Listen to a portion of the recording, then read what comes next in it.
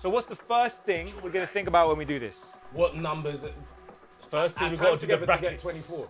Oh, the brackets. The Brackets first, just because it's nice and easy. As soon as you see Big quadratic, mass. Mass. just do some nice Cheeks. brackets Yeah, you put like people this. made them cheeks like that Cheeks. this time. we know Cheeks. that the x's are coming in there because like x times x is x squared.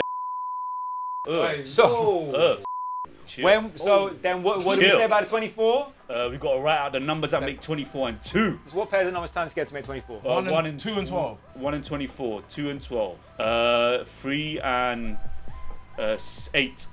Is it? Yeah, 6 and 4. That's all our options. I think that's as far as we go, yeah. Which of these pair of numbers are we actually going to use? 6 and 4. Six and four, because that's the only one that can make minus two. Yes. Yeah. Or just two. Don't even need to worry about the negative at this stage. Right. Six and four can make a two.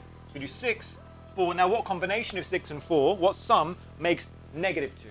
Minus. Minus six and plus four. Minus Yeah. six and plus four. We're starting at minus six and we're bringing it up by four. Minus six plus four, and that's it. That's so once light, again, That's calm. a fairly tricky looking concept that if you just put it into this process is really, really simple.